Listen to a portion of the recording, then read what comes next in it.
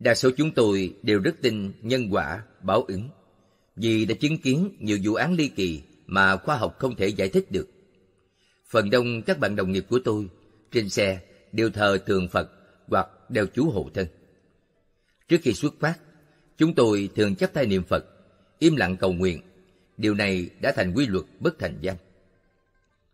Thành phố Bắc Kinh là nơi tôi công tác, đã phát sinh nhiều vụ án rất quái, phải nói là khó mà tưởng tượng ra. Trước hết, xin tự giới thiệu. Tôi làm cảnh sát đã 17 năm. Mới đầu tôi làm ở đồn công an. Sau đó tôi được điều đến Đài Hưng, phục vụ tại trường cảnh sát một năm. Khi cấp trên đến tuyển người tác nghiệp đặc biệt, một lò cảnh sát và dặn kinh nghiệm đã chọn tôi. Thế là ông trở thành sư phụ hình cảnh của tôi. Cho đến nay vẫn còn làm việc chung với nhau. Chúng tôi giống như hai cha con. Sư phụ tôi năm nay 52 tuổi. Ông làm cảnh sát đã 35 năm rồi. Ông dạy tôi rất nhiều điều hay. Giờ tôi xin kể một vụ án lạ, nhưng xin phép được ẩn tên người lẫn địa chỉ và thay bằng quá danh. Trước tiên, xin kể chuyện khi tôi vừa đến đội hình cảnh công tác. Lúc đó vào năm 1994, chúng tôi nhận được tin báo có người chết gần nhà hát vừa mới khai trương. Kẻ báo án nói là do xảy ra đánh lộn trước cửa nhà hát nên phát sinh chết người. Nhưng khi chúng tôi tới hiện trường điều tra thì không phải vậy. Lý do khiến người bị tử vong nói ra rất kỳ quái. Nạn nhân vừa bước vào trước cửa nhà hát thì bị trượt chân, loàn choạng, rồi da vào mũi trường thương nơi tượng quan công cao hơn một mét và bị mũi giáo đâm thủng yết hầu ngay sau động mạch chính. Người quanh đó nhìn thấy máu nơi cổ ông phun bắn ra. Thảy đều quảng kinh, nhưng không ai dám tiến tới gần. Do vậy mà việc cấp cứu bị chậm trễ khiến nạn nhân tử vong. Lúc đó nhà hát có ít người. Đương thời trước cửa nhà hát là một chốn rất hào hoa. Nơi cửa đặc biệt trang thờ một tôn tượng quan công, tay cầm cái trường thương. Đây cũng chính là nguyên nhân phát sinh kỳ án. Chúng tôi mời ông giám đốc tên Dạng Nguyên về đồn thẩm vấn một lúc lâu. Sư phụ tôi hỏi ông, Ông kinh doanh thì sao lại cúng thờ tượng quan công? Bởi vì đa số người làm ăn thường cúng tượng thần tài. Cũng có thuyết cho quan công là võ thần tài, võ thần lẫn tài thần. Giám đốc nói, đây là do đám ca sĩ tặng cho tôi sẵn trước rồi. Tượng vừa mới được chở tới tối đó thôi. Chúng tôi lập tức tìm người bạn chuyên làm nghề đồng của giám đốc tên là Tử Hưng. Y là nghệ nhân đã làm ra cái trường thương này để thẩm vấn. Lúc ấy, người nhà Tử Hưng mới phát hiện ra ông ta mất tích đã ba ngày nay rồi. Không ai nhìn thấy ông. Gọi điện liên lạc cũng không được. Lúc đó, chúng tôi linh cảm, trong đây nhất định là có chuyện. Chúng tôi dội quay lại tìm ông giám đốc hỏi về quan hệ của Tử Hưng. Dạng Nguyên kể ông và Hưng chỉ là bạn làm ăn. Nói đến đây, ông sực nhớ ra. Hai ngày trước tại quán nhậu, Hưng ngỏ ý muốn mua xe. Giám đốc có bảo Hưng là sẽ tốn tiền nhiều lắm đó. Nhưng Hưng tỏ vẻ rất muốn mua, còn vui miệng bảo sắm xe mới xong sẽ cho giám đốc lái thử. Dạng Nguyên nghe y phát biểu thì thầm nghĩ đây chỉ là lời nói đùa trong lúc nhậu nên ông chỉ mỉm cười mà không lưu tâm. Chúng tôi nghe tới đây liền hỏi giám đốc. Ông ta có kinh doanh gì khác nữa không? Bình thường có ưa tiêu xài lớn chăng? Dạng Nguyên đáp. Ôi dào, tính tử hưng không những bỏng sẻn mà lại nhát gan. Cho dù gã làm nghề đồng, trong tài có được mấy dạng. Nhưng nếu muốn mua xe thì tiền vẫn chưa đủ. Sau hai tuần điều tra về tử hưng, chúng tôi phát hiện ba dạng mốt ông cất trong nhà đã biến mất. Hơn nữa cũng hay tin ông từng khoe với nhiều bạn bè là mình muốn mua xe. Mới đây, ông có hợp tác với người bạn bên xây dựng, kiếm thêm được mớ tiền. Hơn nữa, người thợ xây này gần đây hay ghé nhà tình nhân của ông uống rượu. Trong thời gian đó, bên Sở Công an Tây La Diên báo tin, họ vớt được cái đầu người đã phân hủy trong dòng Tây La diên Qua khám nghiệm điều tra của pháp y và hình cảnh, mới biết đây chính là đầu của Tử Hưng. Ông bị hung thủ dùng búa chặt đầu. Sông Tây La diên chỉ là nơi hung thủ ném thủ cấp phi tang. Chúng tôi lập tức phái người tìm ả tình nhân tên Mỹ Lệ của Tử Hưng. Trải qua bao quanh co lắc léo mới kiếm ra mù ta, đang ẩn trốn ở miền quê Hà Nam. Bèn mời về Bắc Kinh thẩm vấn. Tối đó, Mỹ Lệ khai. Ả và Tử Hưng quen nhau hơn hai tháng. Một hôm, lão dẫn về một gã thợ xây khoảng 30 tuổi tên Sang, người Đông Bắc. Trong tiệc nhậu, Tử Hưng luôn mồm khoe mình muốn mua xe. Sau đó tên Sang đã một mình tìm đến nhà Mỹ Lệ, hỏi thăm số tiền Tử Hưng muốn mua xe hiện đang cất ở đâu. Mỹ Lệ nói hiện cất trong nhà ông ta. Sau đó y ghé nhà Mỹ Lệ mấy lần, bị Tử Hưng phát hiện. Thế là giữa Sang và Hưng xảy ra ẩu đả.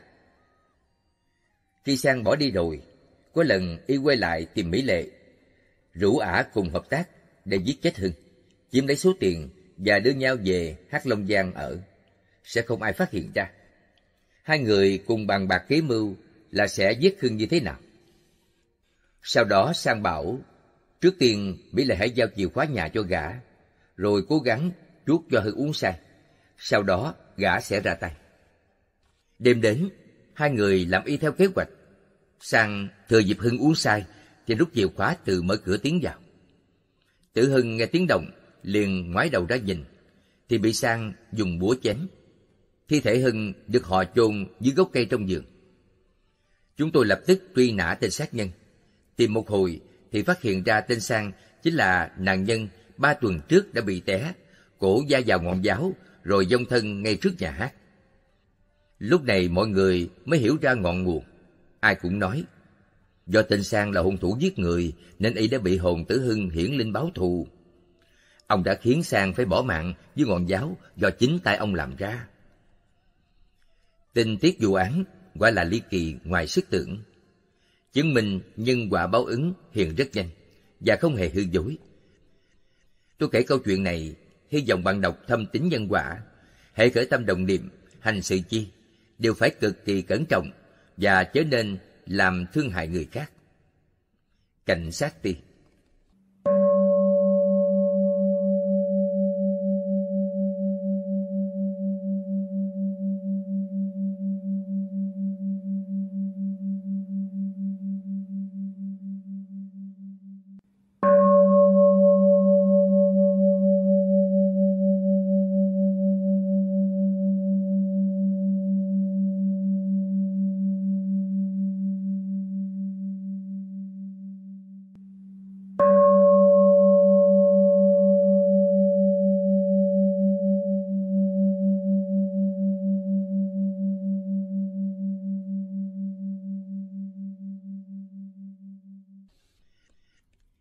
hai bản kinh đầu tiên.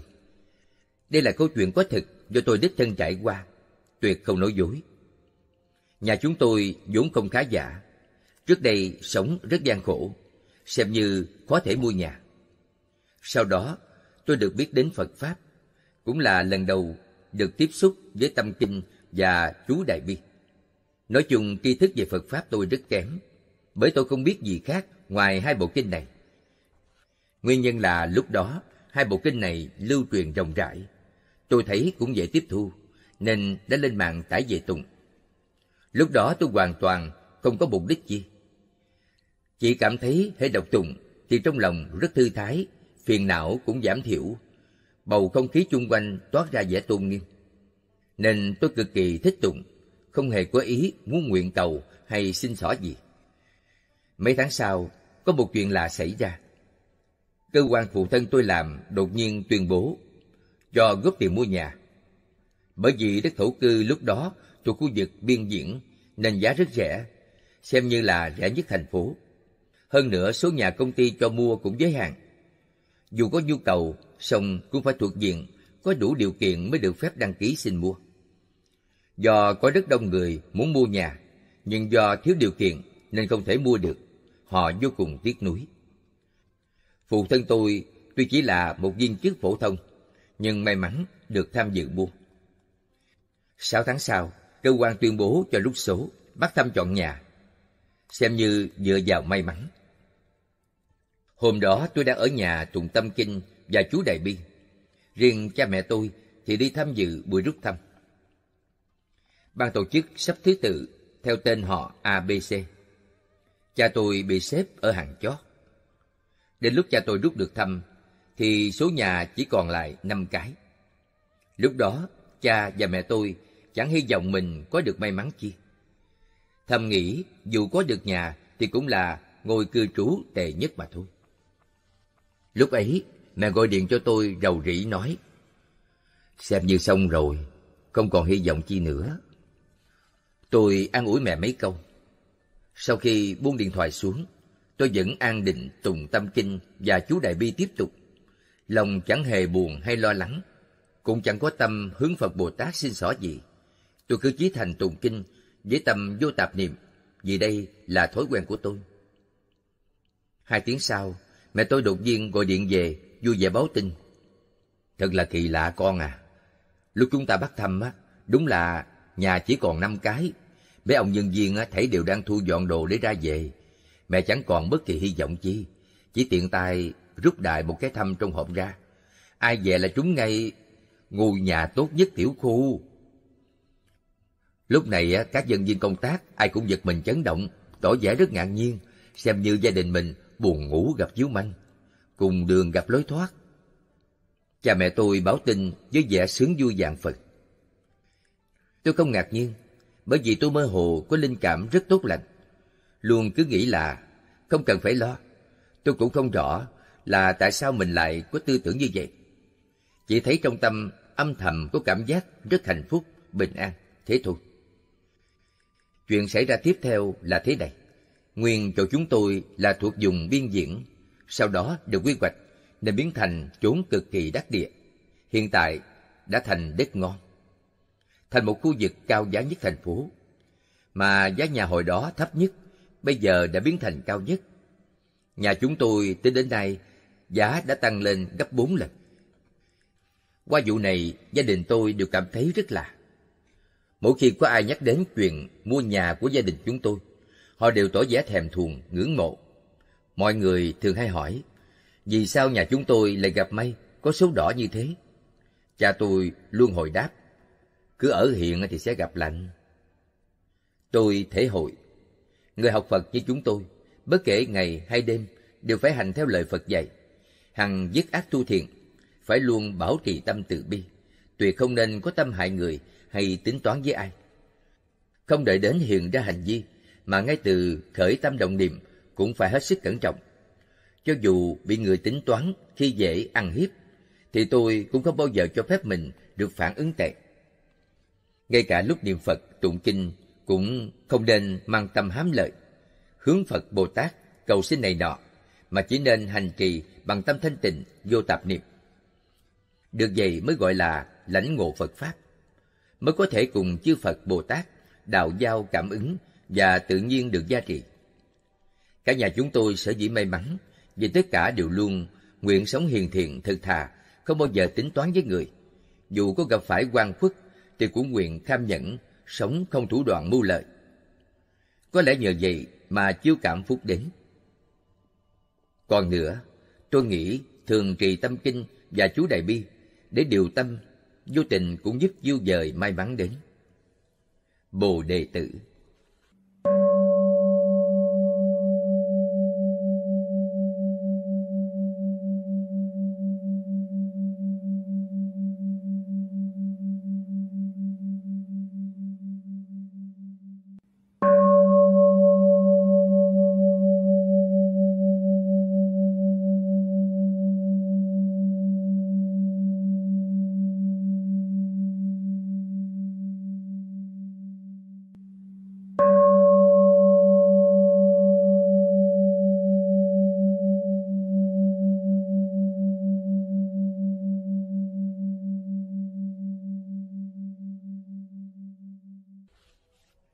Đại sư thâm bệnh Câu chuyện quá thực này xảy ra vào đầu năm 1990.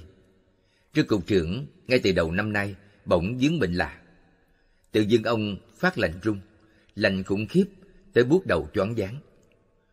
Vào mùa hạ tháng 6 mà phải mặc áo bông. Từ lúc bị quái bệnh này, mặt ông tái nhợt, toàn thân ẩm ướt, một chút sức lực cũng chẳng còn, cho nên đành nằm dưỡng bệnh tại nhà. Hai năm nay, ông đi khắp các bệnh viện danh tiếng chận khám, nhưng không nơi nào tìm ra bệnh, tiêu tốn mấy chục triệu rồi. Nhưng chẳng thể tìm ra nguyên nhân bệnh, dù phương chữa trị. Mấy hôm gần đây, có người bà con giới thiệu là có một vị đại sư thần thông quảng đại, giỏi trị bệnh. Dù các y viện bó tay, ngài đều có thể chữa khỏi. Sư cục trưởng chẳng tin. Mới đầu ông từ chối, không chịu đi khám bệnh. Sau vì thân nhân khuyên mãi, nên đành nghe theo. Ông cũng muốn thử xem, biết đâu gặp thầy hay, thì có thể chữa lành. Khi đại sư tới, Trương cục trưởng đang nằm trên giường. Ngày hè tháng năm mà ông lạnh tới răng da vào nhau lập cập. Đại sư trông còn trẻ, khoảng hơn 50 tuổi, dáng chất phát phúc hậu thuần khiết. Đại sư chỉ lướt sơ ông Trương một cái, thì ông đã run lẩy bẩy, tỏ vẻ kinh sợ cực kỳ. Đại sư như hiểu rõ, dịu dàng nói: Dòng linh đang chịu quan quốc ghê đừng sợ, ta đến là để giúp ngươi giải quan, tuyệt không hề có ý làm hại. Nên xin hãy yên tâm, đừng lo lắng. Đại sư trầm ngâm một hồi rồi nói: Ai là thân nhân của Trương Cục trưởng thì ở lại nghe tôi nói chuyện. Còn những người khác, xin vui lòng tránh đi hết cho. Mọi người đi ra hết. Trong phòng giờ chỉ còn lại Trương Cục trưởng và cô em gái khoảng hơn 30 tuổi. Đại sư lên tiếng. Thực ra bệnh này cũng dễ trị, nhưng phải xem thái độ ông Trương như thế nào. Trương Mùi là em gái ông, nghe nói bệnh có thể chữa lành thì rất mừng đòi hỏi cách chữa trị như thế nào. Đại sư giải thích, bệnh này là do một cô nương tìm đến báo quán. Cô ta vốn là em vợ ông Trương. Chuyện giữa hai người, ông là người rõ nhất. Đại sư vừa nói xong thì sắc mặt xanh lét của ông Trương bỗng đỏ bừng, rồi chuyển sang tái nhợt. dáng vẻ trông rất khó coi. Trương Mụ Mùi như sực nhớ, bèn hỏi. Ý đại sư nói là giữa anh con và cô em vợ Lâm Lâm ư? Cô ấy đã bị chết đuối khi còn rất trẻ. Chuyện này thì cô nên hỏi anh trai mình thì sẽ rõ. Nếu cô ta tự té xuống nước chết đuối, thì đâu có gì phải ôm hờn báo quán. Đại sư Bảo Trương Bụi, cái chết của cô Lâm có liên quan đến anh trai cô. Ông đã làm hại tới hai mạng người. Đại sư càng nói càng quyền hoặc, khiến Trương Bụi ngơ ngác không hiểu thế nào. Đại sư bảo, hiện giờ không có người ngoài nào khác. Xin ông Trương hãy tự mình nói ra mọi chuyện. Nếu không, làm sao tôi có thể chữa trị cho ông được? Lúc này ông Trương cúi gầm đầu xuống, không nói câu nào. Nhưng hình ảnh quá khứ lại hiện về trong tâm trí ông. Đó là một ngày mùa xuân. Lúc đó, ông đã kết hôn được hai năm. Trong thời gian này, nhạc phụ và nhạc mẫu ông bỗng nối tiếp nhau tà thế bỏ lại đứa con gái út mới 16 tuổi.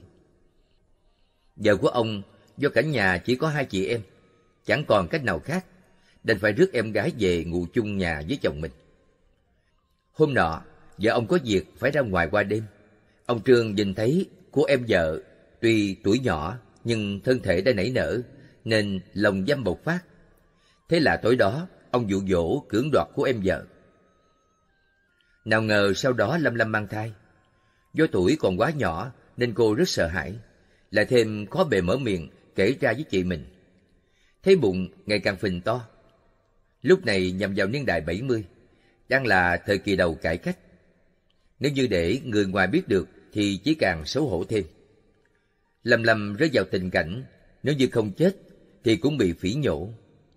Cùng đường nghĩ quẩn, cô đành nhảy sông tự giận. Đại sư thấy ông Trương cứ ngồi im không chịu khai gì, liền nói. Có vẻ như ông không muốn ta chữa bệnh cho.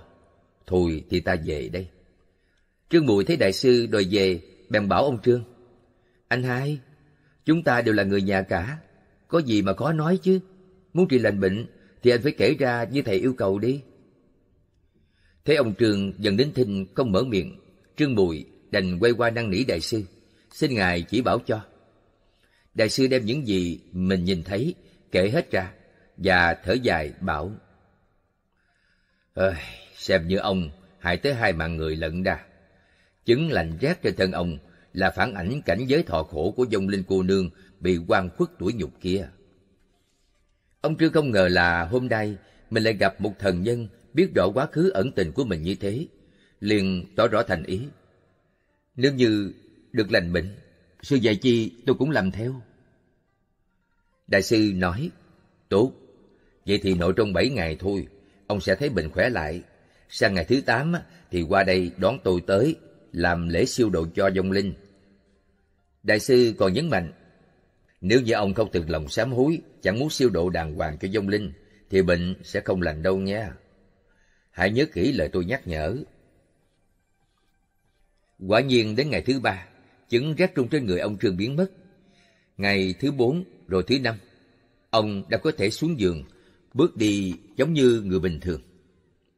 Đến ngày thứ bảy, thấy trên thân không còn cảm giác bệnh hoạn chi, giống như quái bệnh, được bắt đem đi mất. Chỉ thấy sức khỏe hơi còn yếu thôi. Tính ra cũng đã hai năm rồi, ông không có được cảm giác khỏe khoắn dễ chịu như thế này.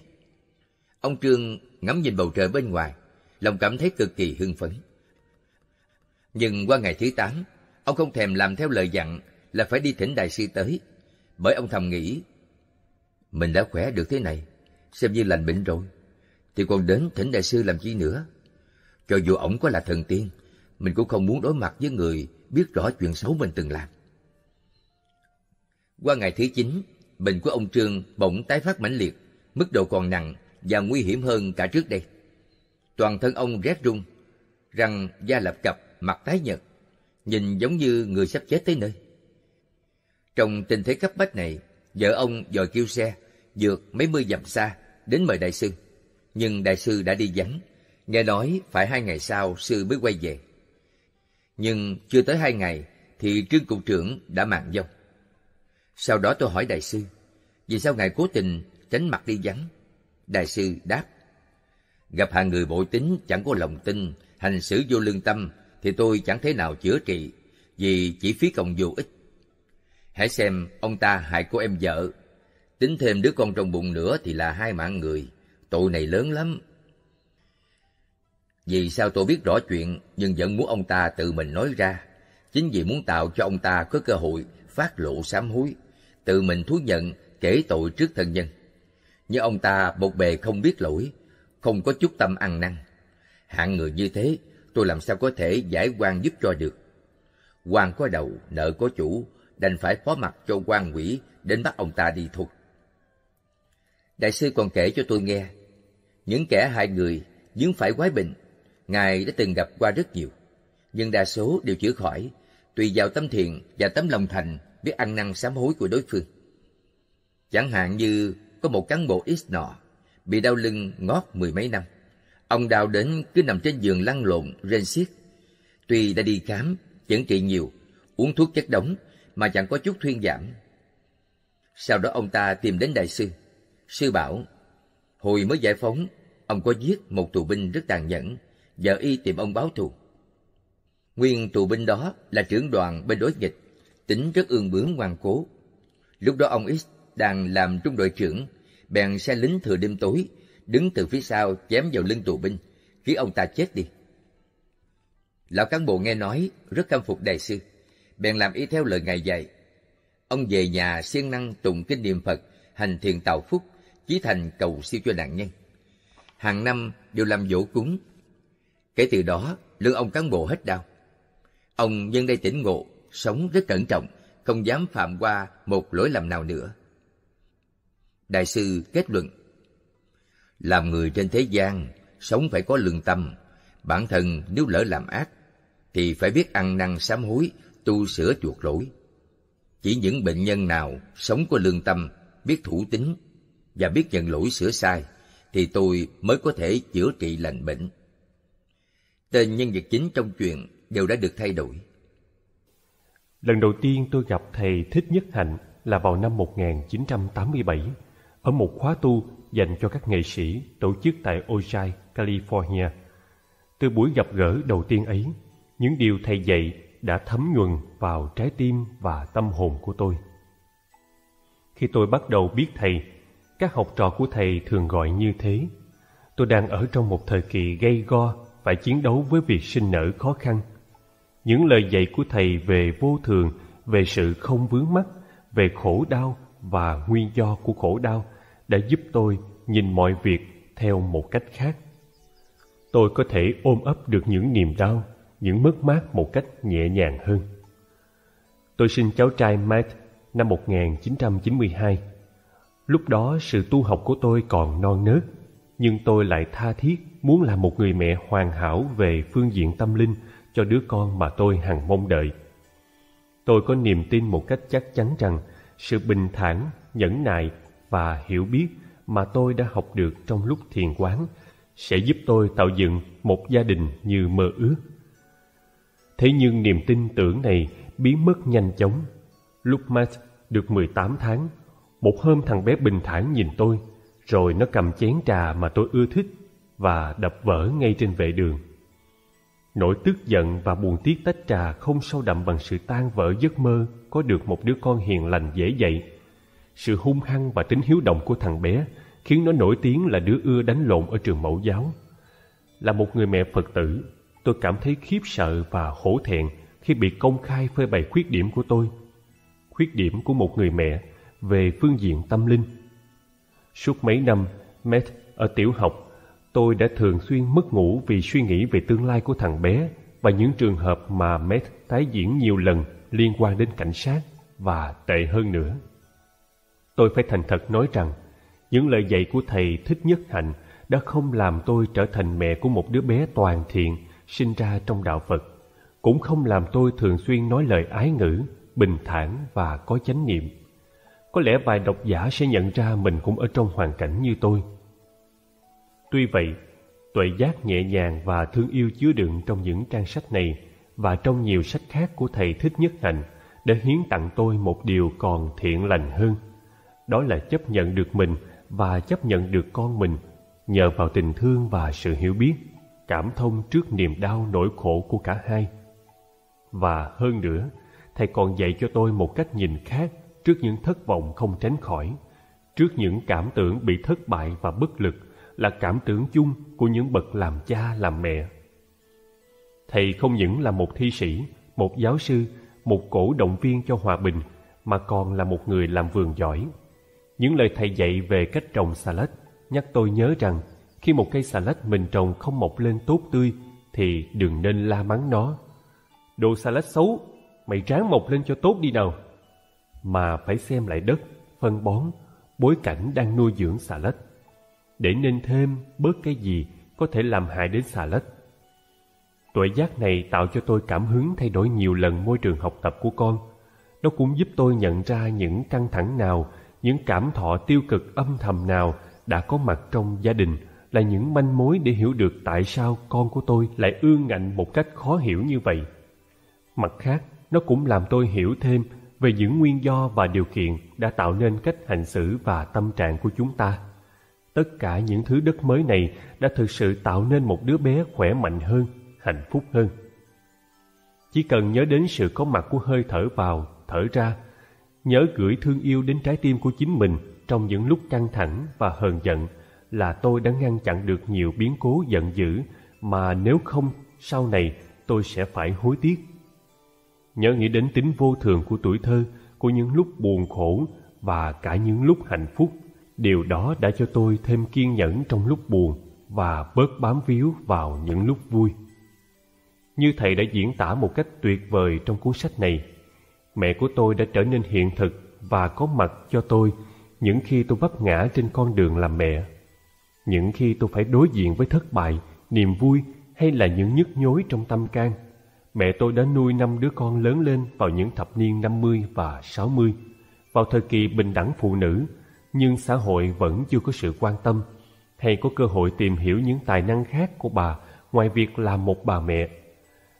Là một người trẻ tranh đấu cho phụ nữ, tôi đã từng phán xét mẹ là thiếu quả quyết, là đã chấp nhận một vị trí phụ thuộc trong đời sống vợ chồng.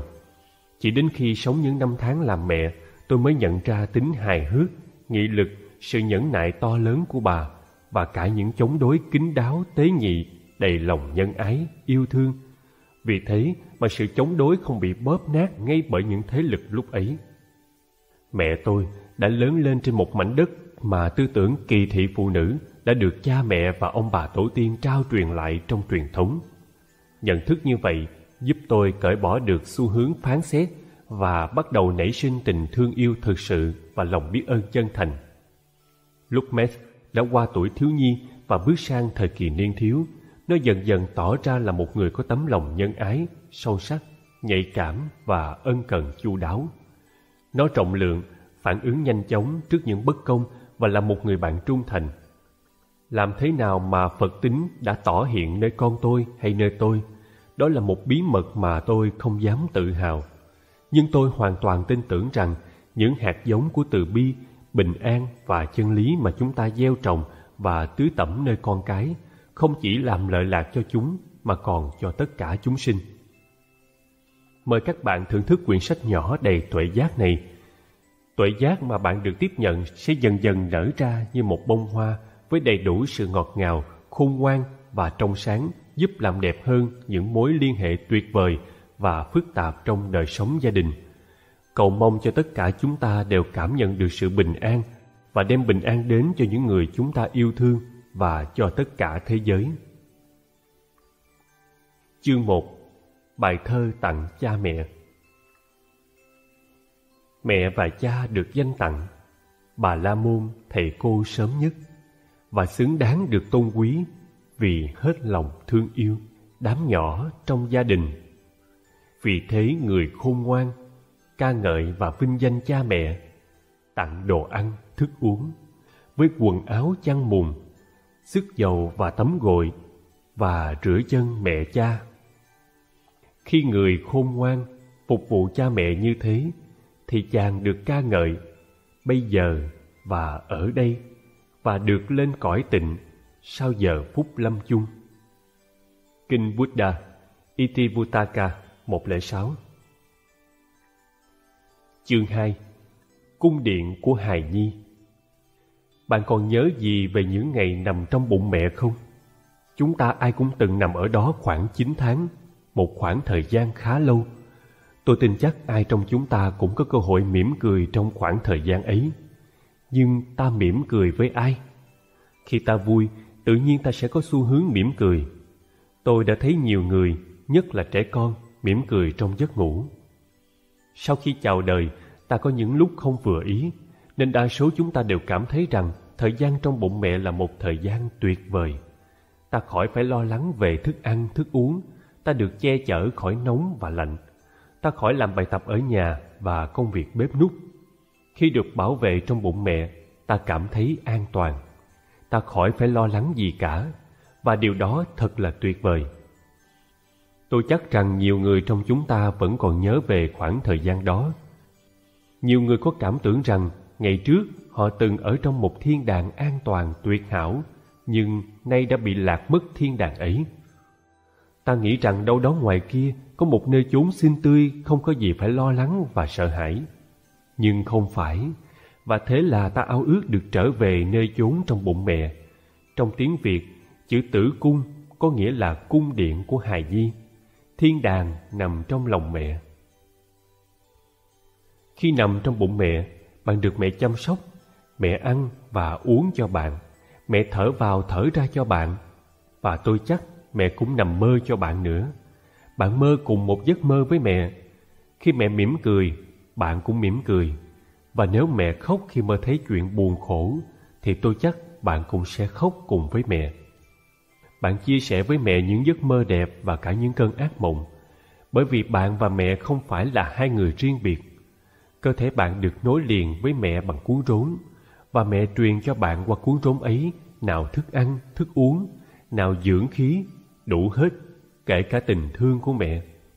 Bạn nằm đấy bạn chưa chào đời nhưng đã là đối tượng của tình thương.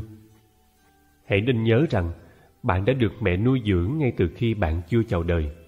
Nếu nhìn sâu, bạn sẽ thấy rằng đồng thời bạn cũng nuôi dưỡng mẹ vì có con trong lòng mà cơ thể mẹ thay đổi và lớn lên. Có thể mẹ mệt mỏi hơn kém sức hơn, nhưng đồng thời mẹ hay mỉm cười hơn và cả yêu đời nhiều hơn nữa. Có lẽ trong khoảng thời gian ấy mẹ đã từng trò chuyện với bạn. Tôi chắc rằng bạn đã nghe mẹ nói chuyện và bạn đã hồi âm. Có lẽ thỉnh thoảng mẹ quên rằng đang có con nằm trong bụng mẹ, vì vậy bạn đã đá một cái để nhắc mẹ. Cái đá của bạn là một tiếng chuông chánh niệm. Nếu mẹ có thực tập tỉnh thức thì mẹ đã nói, con yêu quý, mẹ biết con có đó mà, và mẹ rất hạnh phúc. Đó là câu thần chú thứ nhất. Nếu mẹ không nói như thế thì cơ thể mẹ cũng đáp lại rằng mẹ sẽ làm bất cứ gì đều cần thiết để nuôi dưỡng con. Khi bạn vừa chào đời, sẽ có người cắt cuốn rốn của bạn và bạn ré lên khóc lần đầu tiên trong đời. Bây giờ thì bạn phải tự mình hít thở, bạn phải làm quen với ánh sáng xung quanh. Bây giờ lần đầu tiên bạn biết đói bụng, bạn đã ở ngoài cơ thể của mẹ, nhưng bạn vẫn còn nằm trong lòng mẹ, vẫn còn tùy thuộc vào mẹ. Chẳng hạn như bạn phải bú vú mẹ, và mặc dù cuốn rốn giữa mẹ con đã bị cắt đứt, bạn vẫn còn liên hệ mật thiết với mẹ một cách cụ thể. Là một em bé, bạn biết mình có liên hệ với mẹ, và khi là một người mẹ, bạn sẽ cảm thấy sự gắn kết với con mình. Nếu là mẹ, bạn có thể hình dung bạn với con là một. Nhưng nếu bạn giữ chặt con và bắt nó phải giống hệt như mình, thì điều đó không nên. Thấy mình với con là một thì tốt, nhưng bé còn phải sống với nhiều ảnh hưởng khác nữa. Và khi lớn lên, có thể bé sẽ có nhiều hiểu biết mới. Mỗi bà mẹ đều phải tập để thấy rằng con mình là mình, nhưng đồng thời cũng không phải là mình. Đứa con có cuộc đời riêng của nó. Bạn không thể cầm giữ đứa con và bắt nó phải đi về hướng của bạn. Bạn không thể buộc nó phải làm những gì bạn thích vì bạn muốn uống nắng nó theo khuôn đúc của bạn. Bởi vì nó không những là sự nối tiếp của bạn, mà còn là sự nối tiếp của nhiều thế hệ tổ tiên trước bạn nữa. Và có thể cuộc đời bạn đã không có cơ hội được tưới tẩm những hạt giống tốt mà bạn thừa hưởng từ thế hệ tổ tiên. Do đó, bạn không được may mắn bằng con bạn. Cho nên khi con đã có nhiều hiểu biết mới, bạn phải học hỏi từ con. Nếu mẹ không chịu để cho bạn độc lập trưởng thành, hay nếu bạn có khó khăn với mẹ, có lẽ bạn sẽ ráng tự thuyết phục rằng bạn và mẹ là hai người riêng biệt. Nhưng sự thật không hẳn thế. Bạn là sự tiếp nối của cả cha và mẹ. Khi tôi ngồi thiền, tôi có thể thấy được sợi dây rốn nối liền tôi và mẹ. Khi tôi nhìn sâu, tôi cũng thấy những dây rốn nối liền tôi với vạn vật. Bởi vì mặt trời mọc mỗi sáng mai, và nhờ có mặt trời, ta có nhiệt lượng và ánh sáng. Không có nhiệt lượng và ánh sáng thì ta không tồn tại được. Thế thì sẽ có một dây rốn nối liền bạn với mặt trời, và sẽ có một dây rốn khác nối liền bạn với những đám mây trên bầu trời. Bởi vì nếu không có mây thì sẽ không có mưa và không có nước để uống. Nếu không có mây, bạn cũng không có sữa, không có trà, không có cà phê, không có kem lạnh, không có gì hết. Và lại có một dây rốn nối liền bạn với dòng sông, một dây rốn khác nối liền bạn với rừng cây. Nếu bạn cứ tiếp tục thiền định, bạn sẽ thấy rằng bạn nối liền với mọi vật và mọi người trong vũ trụ. Cuộc đời bạn tùy thuộc vào mọi thứ khác đang có mặt như những sinh vật, cây cỏ, đất đá, không khí, nước và mọi thứ khác trên trái đất. Giả sử bạn trồng một hạt bắp, sau bảy ngày, hạt bắp nảy mầm và trở thành một cây bắp.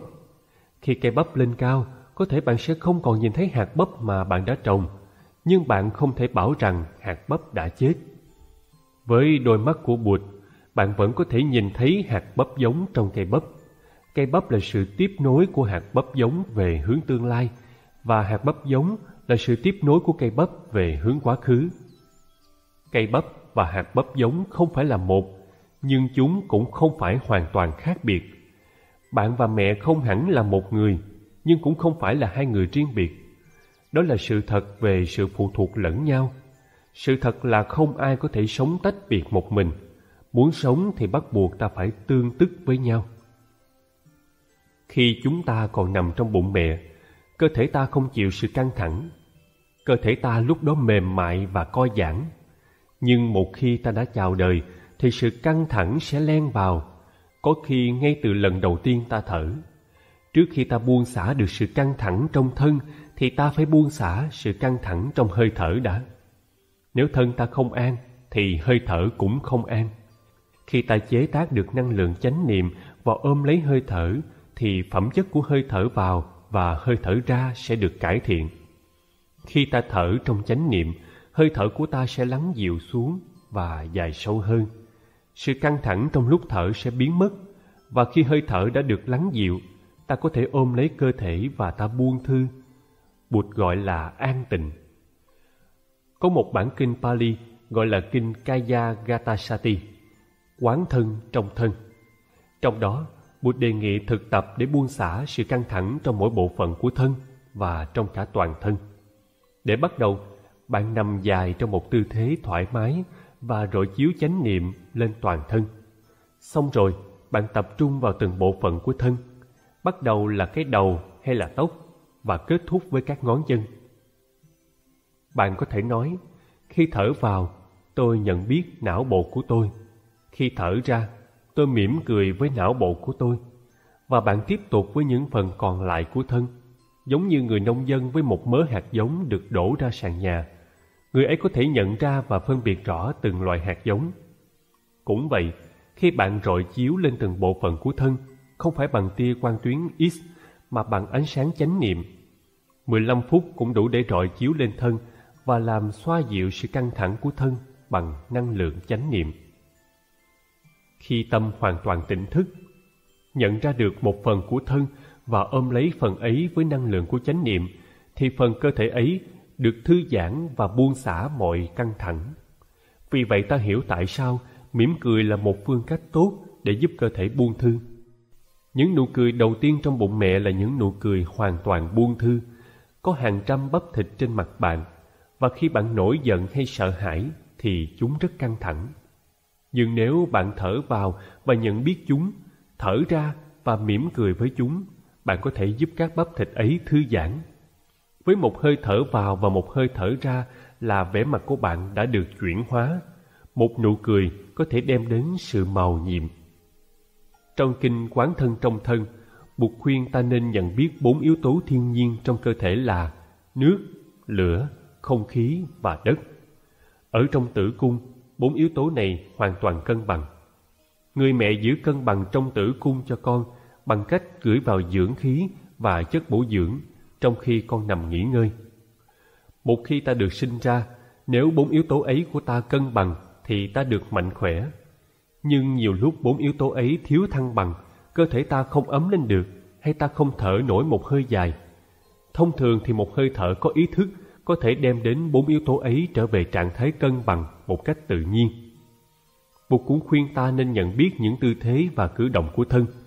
Lúc ngồi thiền, điều đầu tiên ta phải nhận thức là ta đang ở trong tư thế ngồi, rồi sau đó bạn có thể tìm cách ngồi nào đem lại cho bạn sự an ổn, sự vững chãi và thoải mái.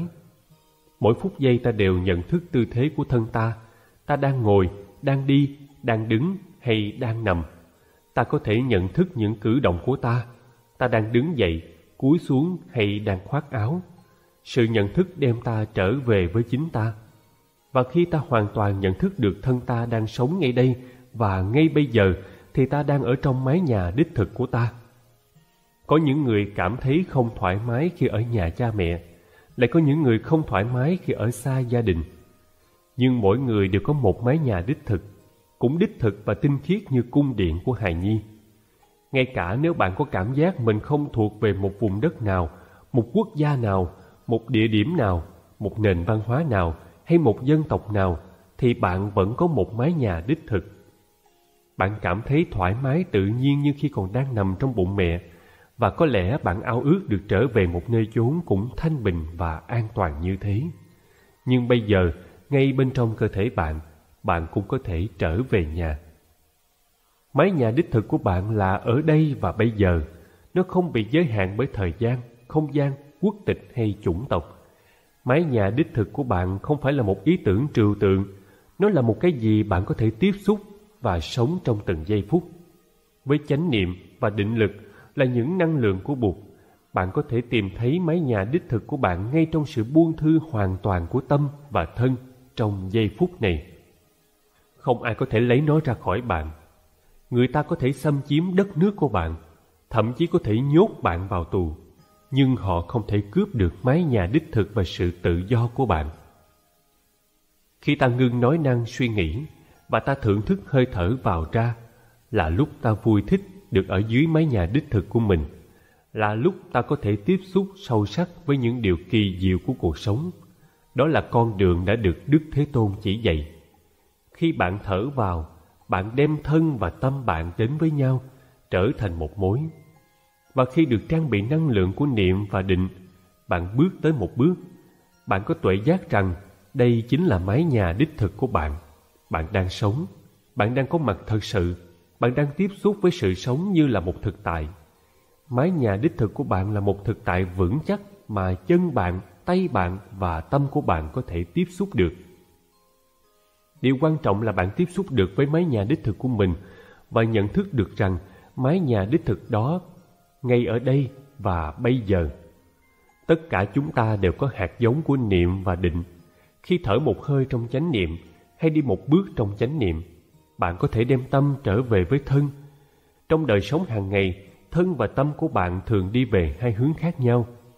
Thế là bạn bị lãng trí, tâm một đằng thân một nẻo. Thân thì đang khoác áo lạnh, nhưng tâm thì đang lơ đãng vướng bận với những điều trong quá khứ hay tương lai. Nhưng giữa tâm và thân vẫn có một cái gì đó đó là hơi thở của bạn. Và ngay khi bạn trở về với hơi thở, bạn thở trong tỉnh thức thân và tâm bạn lại trở về với nhau rất nhanh chóng. Trong khi thở vào, bạn không nghĩ gì cả. Bạn chỉ tập trung sự chú ý vào hơi thở vào đó. Bạn tập trung, bạn đầu tư một trăm phần trăm con người bạn vào hơi thở vào. Bạn trở thành hơi thở vào của bạn. Sự tập trung vào hơi thở vào sẽ làm thân tâm bạn trở về một mối trong khoảnh khắc. Và ngay lúc đó, bạn thấy bạn thực sự có mặt, bạn đầy sức sống bạn không còn ao ước trở về cung điện của hài nhi nữa, trở về nơi thiên đàng hoàn hảo nữa. Bạn đã ở đấy rồi, bạn đã về đến ngôi nhà của mình rồi. Chương ba, bông hồng cài áo. Ý niệm về mẹ thường không thể tách rời ý niệm về tình thương, mà tình thương lại là một chất liệu ngọt ngào, êm dịu và cố nhiên là ngon lành. Con trẻ thiếu tình thương thì không thể lớn lên được người lớn thiếu tình thương cũng không thể lớn lên được, mà sẽ cằn cỗi, héo mòn. Ngày mẹ mất, tôi viết trong nhật ký, tai nạn lớn nhất đã xảy đến với tôi rồi. Dù tôi đã lớn đến cách mấy, mà khi đã mất mẹ thì cũng như đứa trẻ.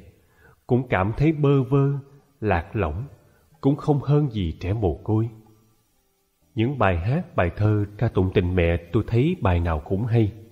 Người viết dù không có tài, nhưng vẫn có trung cảm chân thành. Người hát ca, trừ là người không có mẹ ngay từ thuở chưa có ý niệm, còn thì ai cũng cảm động khi nghe nói đến tình mẹ. Những bài hát ca ngợi tình mẹ đâu cũng có, thời nào cũng có. Bài thơ mất mẹ mà tôi thích nhất, được đọc từ hồi nhỏ, là một bài thơ rất giản dị. Khi đó mẹ đang còn sống, nhưng mỗi khi đọc bài ấy thì tôi là cảm thấy sợ sệt, lo âu. Là cảm giác sợ sệt, lo âu cho một cái gì còn xa, chưa đến, nhưng chắc chắn phải đến. Năm xưa tôi còn nhỏ, mẹ tôi đã qua đời. Lần đầu tiên tôi hiểu thân phận trẻ mồ côi. Quanh tôi, ai cũng khóc. Im lặng tôi sầu thôi. Để dòng nước mắt chảy, là bớt khổ đi rồi hoàng hôn phủ trên mộ. Chuông chùa nhẹ rơi rơi.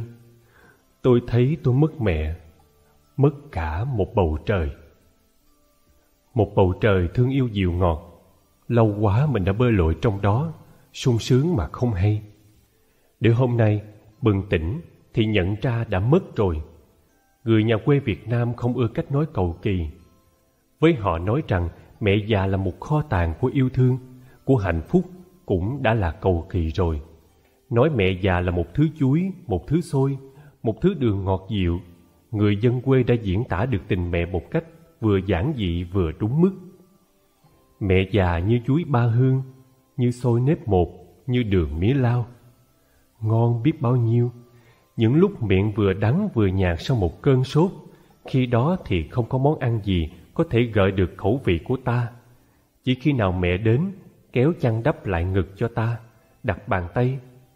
Bàn tay hay là tơ trời đâu la miên?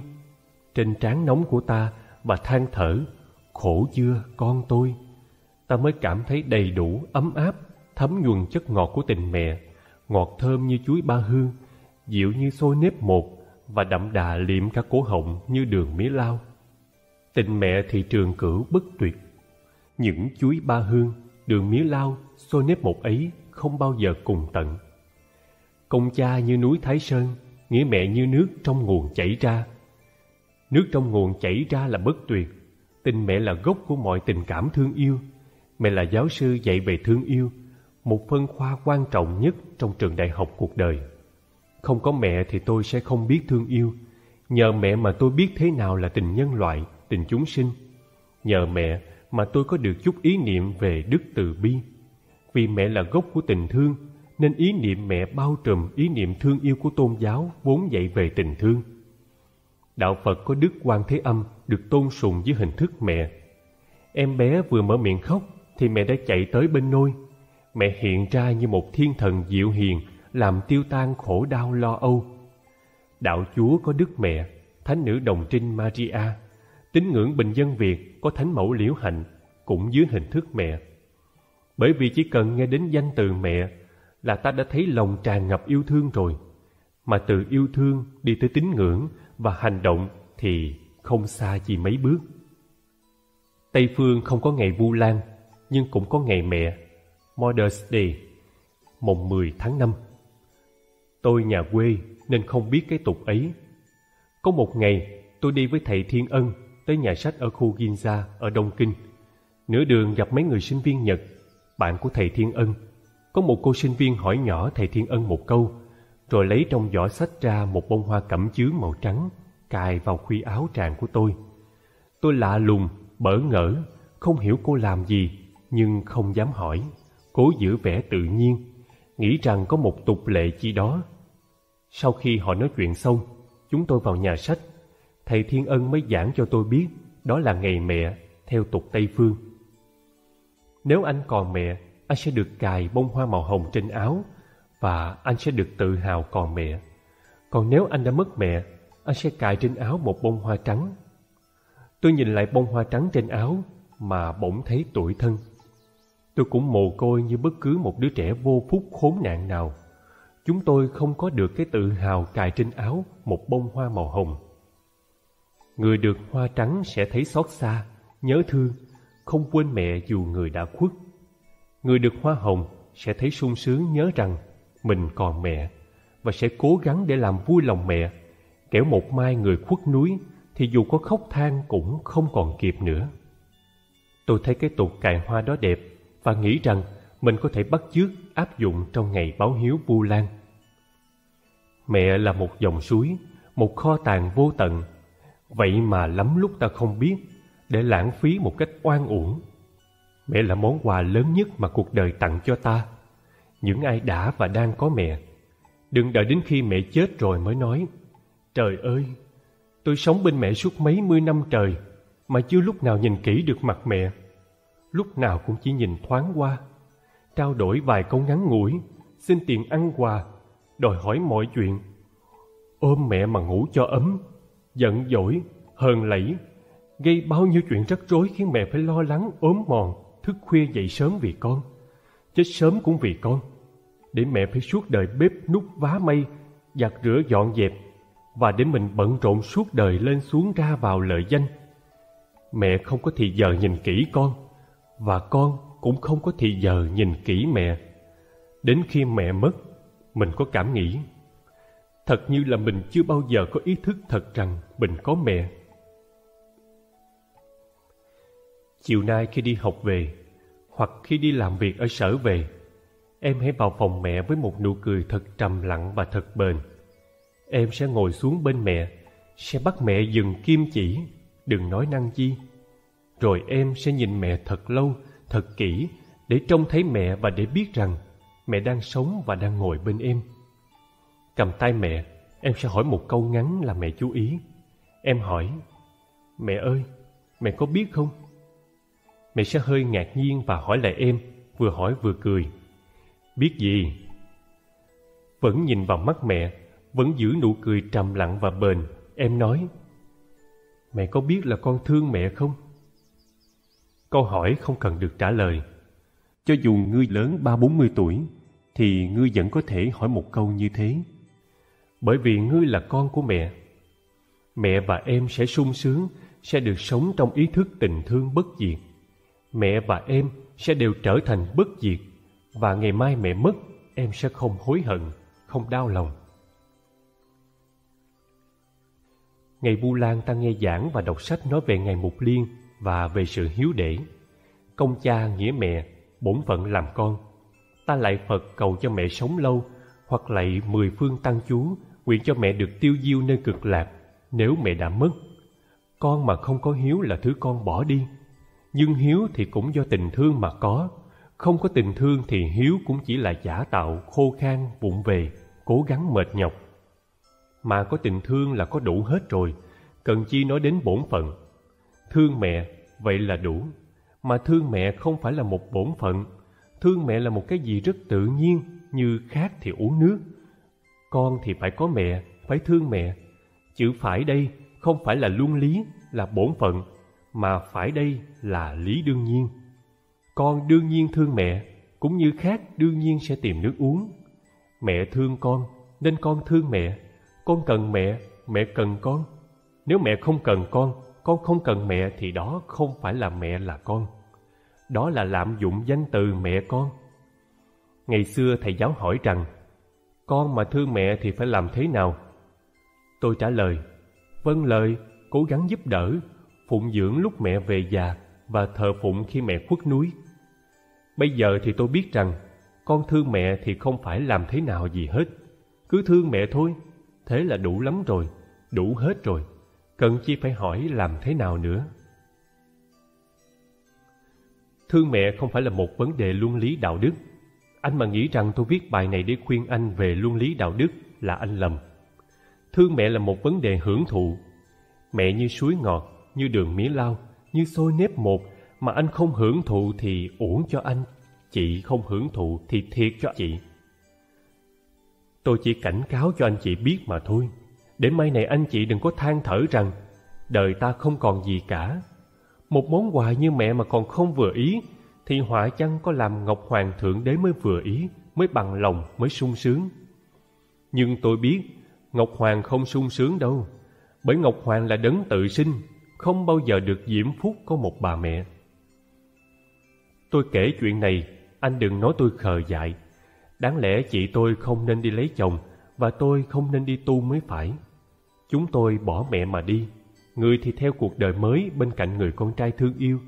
Người thì đi theo lý tưởng đạo đức mình say mê và tôn thờ. Ngày chị tôi đi lấy chồng, mẹ tôi lo lắng tất bật, không tỏ vẻ buồn bã chi. Nhưng đến khi chúng tôi ăn cơm ở trong phòng, ăn qua loa để đợi giờ rước dâu, thì mẹ không nuốt được miếng nào.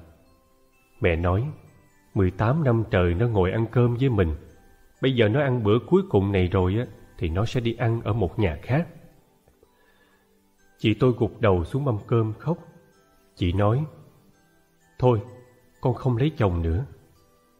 Nhưng rốt cuộc chị vẫn đi lấy chồng. Còn tôi thì bỏ mẹ mà đi tu. Các ái từ sở thân là lời khen ngợi người có chí xuất gia. Tôi không tự hào chi về lời khen đó cả. Tôi thương mẹ, nhưng tôi có lý tưởng. Vì vậy mà phải xa mẹ. Thiệt thòi cho tôi, có thế thôi. Ở trên đời, có nhiều khi ta phải chọn lựa, mà không có sự chọn lựa nào mà không khổ đau. Anh không thể bắt cá hai tay. Chỉ khổ là vì muốn làm người, nên anh phải khổ đau. Tôi không hối hận vì bỏ mẹ đi tu, nhưng tôi tiếc và thương cho tôi vô phúc thiệt thòi nên không được hưởng thụ tất cả kho tàng quý báu đó. Mỗi buổi chiều lại Phật, tôi đều cầu nguyện cho mẹ. Nhưng tôi không được ăn chuối ba hương, xôi nếp một và đường mía lao. Anh cũng đừng tưởng tôi khuyên anh không nên đuổi theo sự nghiệp mà chỉ nên ở nhà với mẹ. Tôi đã nói là tôi không khuyên răng ai hết. Tôi không giảng luân lý đạo đức rồi mà.